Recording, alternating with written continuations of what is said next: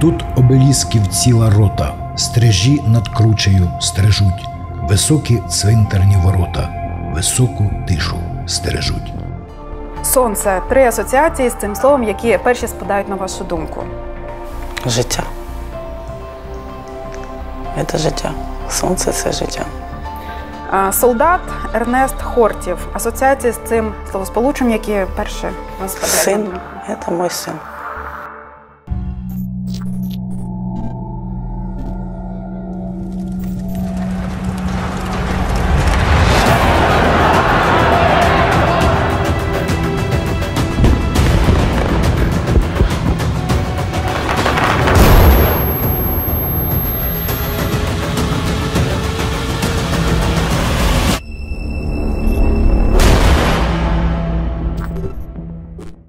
Вікторія Матієнко, радниця голови Миколаївської обласної ради, мама загиблого героя Ернеста Хортєва. Солдат, навідник 3-го взводу 1-ї аеромобільної роти 79-ї окремої аеромобільної бригади, дістав смертельне поранення в бою біля прикордонного села Дякове, Луганська область, 4 серпня 2014 року. У травні 2015-го нагороджений орденом за мужність 3-го ступеня посмертно. У Миколаївській загальноосвітній школі номер 20 встановлено меморіальну дошку герою АТО Ернесту Хортєву. Добре, Вікторія, ви така е, молода мама дорослого сина та чарівної донечки, але так життя склалося, що бойові події на сході поділили ваше життя на до та після. Давайте разом згадаємо 2014 рік. У вас підростає ваш дорослий син. Так.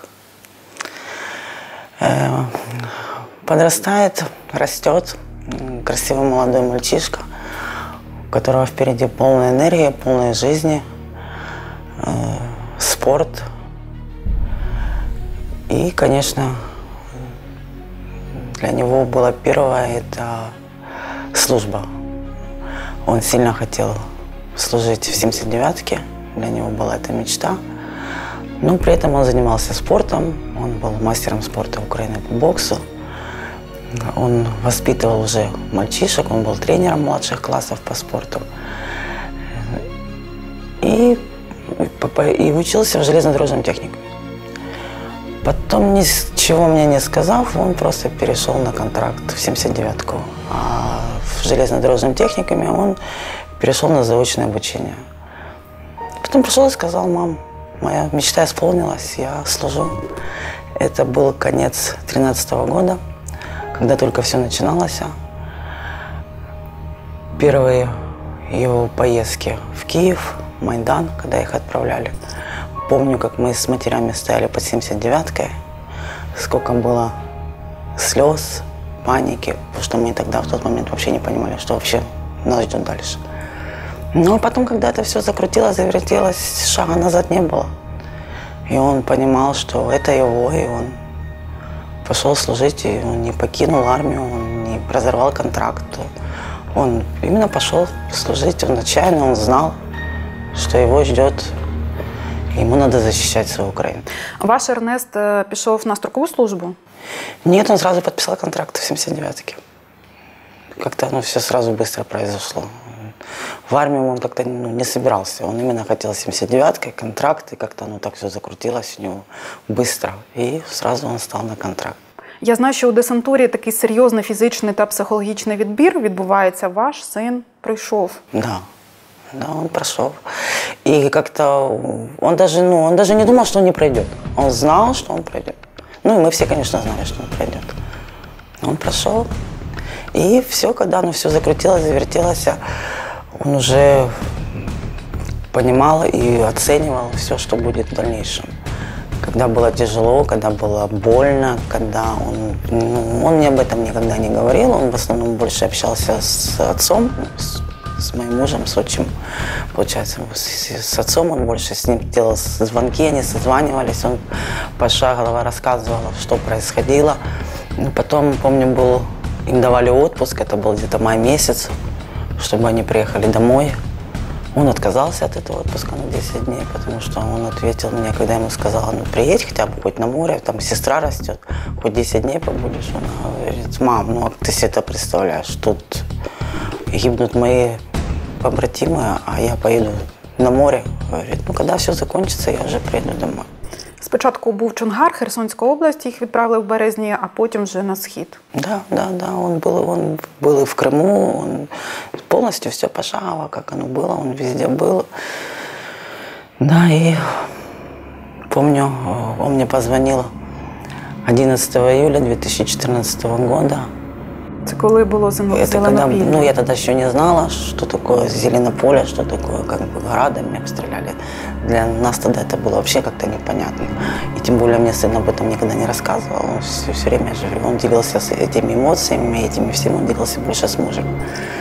И когда это произошло, я помню, мне позвонил 11 июля, где-то ближе к вечеру, и первое его слово было с таким вот, э, ну, уже были, м, голос у сына был уже не мальчика, а уже настоящего мужчины. И первое, что он мне сказал, он мне сказал, мама, я седой. Ну, а потом он уже мне рассказал, что произошло. Как он похоронил своих мальчишек, с которыми они пили вечером чай. Как он вытягивал их по частям с БТРом.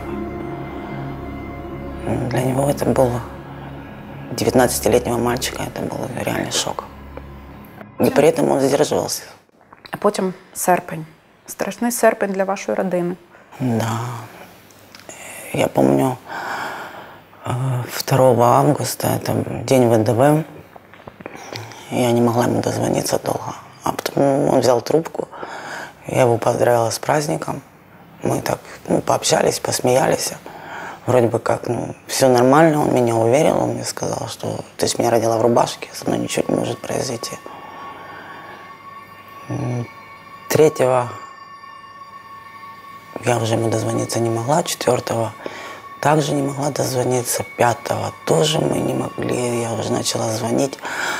И ну, телефон не брался, был отключенный. Потом как-то он появлялся в сети, потом опять он отключался. Но голос так я не услышала. Потом числа восьмого мы дозвонились. Ну, у меня, как, наверное, как у каждой мамы, когда в Зеленополе 11 числа произошло, когда мне мой сын сказал, что у нас нету связи, я буду звонить тебе с разных номеров, поэтому ну, не, ну, не удивляйся, поднимай трубку, кто бы ни звонил, потому что ну, я в любой момент могу позвонить я.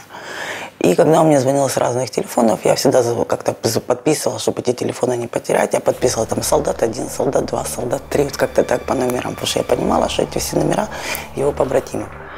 И таких номеров у меня было, наверное, 11. И я по всем этим номерам звонила, и один телефон ответил номер.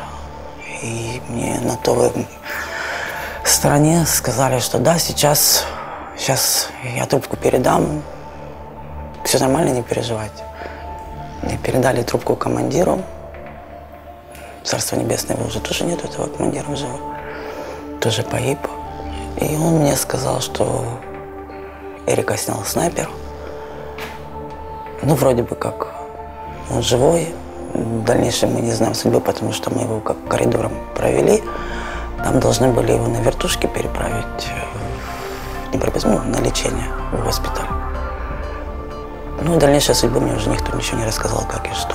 И Ви мы вже тогда- потім почали бити на сполох, телефонувати. Да, мы уже начали пошагово, я уже начала с этими ребятами созваниваться. В основном больше уже муж взял инициативу на себя, потому что видел, что я в панике. И нам просто сказали, как его ввели пошагово, кому передали, и какие это были города, и куда. И мы уже просто открыли интернет, и вот пошагово мы начали искать, где он может находиться. Нам сказали, он там в той больнице, там в той больнице. Мы уже начали с больницами созваниваться, с госпиталями. Говорили, да, привезли, да, увезли, но конкретики никто не говорил. И мы нашли его где-то 11 мы нашли его в Таганроге. Это вообще для нас было как-то, ну, мы не могли понять, почему там он оказался. Ну, в Таганроге, так как знакомых нет, никого нет, ну как искать. И просто муж уже открыл, и сына друзья открыли Facebook, ну, начали писать в контакты, начали фотографии высылать, просили отозваться помощи. Ну, кто есть. И нам начали уже писать с Таганрога такие же молодые девчонки, мальчишки. Говорит, что мы поможем найти. И одна девочка по имени Александра, такого же возраста, как мой сын, она проявила инициативу и начала искать моего сына в этом городе. И потом уже подключилась ее мама. Когда они обошли все больницы, то нашли врача, который последний видел Рика. Врач сказал, что отсюда его забрали. Да, я, говорит, пытался ему оказать медицинскую помощь, но не смог, отсюда его забрали. Опять же, куда забрали, не сказали. Ну, тогда я уже выхватила трубку и спросила уже так через силу, морг есть в Таганроге? Она сказала, да, есть, он один. Я говорю, пожалуйста, узнайте. И через часа два она мне позвонила и сказала, я нашла вашего сына. Говорит, их там столько. Их там очень много, говорит, они лежат один на один. И это все ваши украинские мальчишки. У нього поранення виявилось несумісне з життям. Да. И потом уже после этого я созвонилась с начальником Ингульского военкомата Сергеем Бойко. Рассказала ему информацию. Потом он ее проверил. И выехали. Он создал, как говорится, бригаду. И они бригадой выехали в Таганрог, сделали все документы и передали тело. И мы его уже здесь дома похоронили. Провести в останню путь вашого сина прийшло сотні миколаївців. Я да. бачила світлини. Было очень много людей, и многих, даже тех, которых, ну, в принципе, я в тот момент вообще никого не видел. Но, как рассказывают родственники, близкие, то многих было тех, которых мы ну, не знали. Ну, просто вот люди шли и не останавливались. Да, было очень много людей. У рідній Ернеста школі, школі номер 20, відкрили меморіальну дошку. Так, це було 15-го року. І відкрили її на на річницю. Да, его день рождения, на 8 сентября было открытие этой доски. Да, так она. И там не только доска, там есть уголок и моего сына, и еще Алдошинова. Там тоже, э, там, получается, у них на этаже сделали тоже небольшой такой, как э, памятный уголок мальчишек, которые учились в этой школе. Чи думали ви про те, що колись от ось так, у такий спосіб фотографія вашого сина буде висіти на освітньому закладі?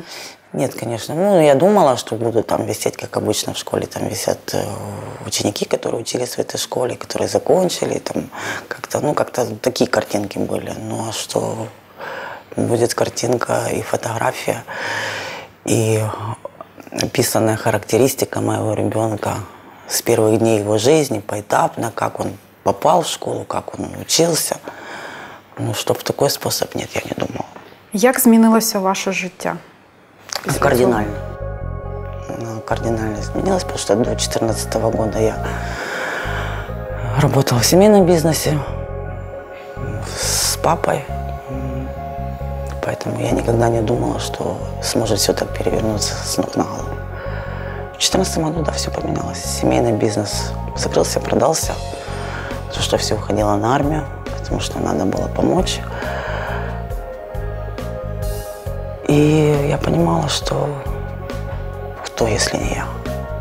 Как-то так у меня оно пошло. Я начала встречать, помню, первую встречу мою с Русланом Миронюк, это был 14 год. Мы с ней познакомились э, в городской администрации. Мы пришли тогда на прием к мэру, тогда был Гранатуров.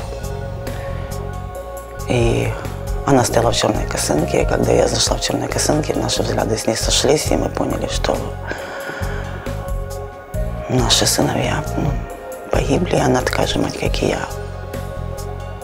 И как-то, вы знаете, как-то так произошла наша встреча с ней. Мы ничего друг друга не говоря, просто обнялись. И с 2014 года мы с ней шаг за шагом делаем все вместе по сегодняшний день. Потім ви почали працювати е, активно працювати в асоціації учасників та інвалідів АТО, організовували е, відпочинок таких мам, діток, які залишились без батьків. Так, так, да. Я познакомилась в 2015 году с е, Олей Малярчук, с Нелей Яровенко. Как-то мы начали так вместе с ними, потому что они как-то нас с матерью начали нас объединять. Потом, благодаря Оле, я познакомилась а, уже с побратимами. И помню первую встречу нашу с Александром Терещенко. И я увидела его, когда вот полных сил, полных духа, человек, который получил много ранений, и он не сделал шага назад, а наоборот и шел вперед. И я поняла, если он может, то почему я не могу? И было много, было много эмоций, было много того, что я пыталась уже все бросить, и ну, я не могла, потому что для меня это было тяжело. Нас становилось каждый раз все больше и больше. Матерей прибавлялось, потому что дети гибли. И прибавлялись вдовы. И как-то получалось так, что вроде бы думаешь, ну вот сейчас вот мы сейчас вот вместе, и вот мы как-то будем сейчас, э, нас больше не, ну, не должно быть. А получалось наоборот, нас прибавлялось, прибавлялось, и это было страшно. И потом как-то Саша мне, я помню Сашины слова, когда я хотела уйти, все бросить, Саша мне сказала, ну если ты бросишь, тогда что мне здесь делать? Ну, а кто, если не мы?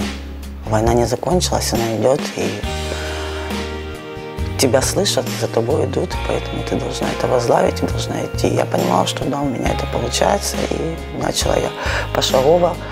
Потом уже моя работа началась в ассоциации инвалидов участников АТО, я начала знакомиться уже с ребятами. Как-то ребят я никогда не делила на чужих и на своих. Для меня участники боевых действий – это одно целое, это одна семья. Я их всегда называю, что они мои. Так же самое, как и семьи загиблых. Мы одна родина, мы одна семья, и мы не делим что бы там ни произошло. Я никогда не делю мамы, не делю вдов, потому что когда где-то происходит, ну как бывает везде, да, происходят какие-то стычки между, кто-то не понимает свекровь с невесткой, да, ну оно было и при жизни так, не нами это придумано, а так получается у каждого, как у людей, разный характер. И я всегда получилось так, что помимо 2014 года, что я потеряла сына, э, мой отец не перенес смерти моего сына, своего внука, и за сыном ушел сразу же мой отец. Получилось, как у меня как два похорона. После сына и после отца я потеряла мать. Прошло некоторое время я потеряла мужа. Буквально недавно, полгода скоро будет, как я потеряла родного брата. При этом я сейчас осталась одна с маленькой дочкой. У вас в родині підростає донечка. Да, и поэтому Скільки у нас зараз еще їй? большая семья, нам 10 лет, 11 год.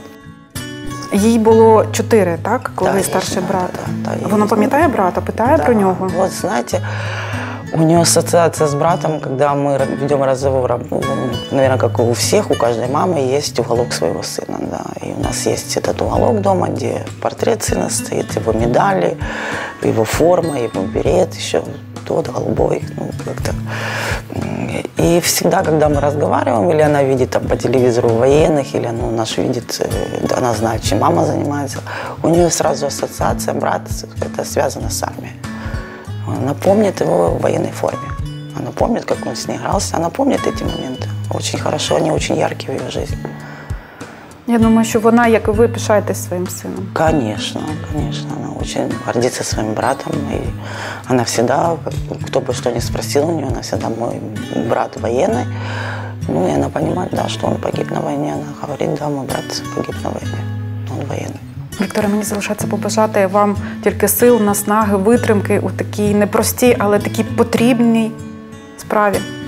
Дякую, дякую. Нехай буде все добре. Дякую. Нехай все буде добре, нехай буде мир. И должны помнить наши матеря, наши участники боевых дій и все, что связано с войной. Мы одно целое, и мир обязательно наступит. Я в это верю.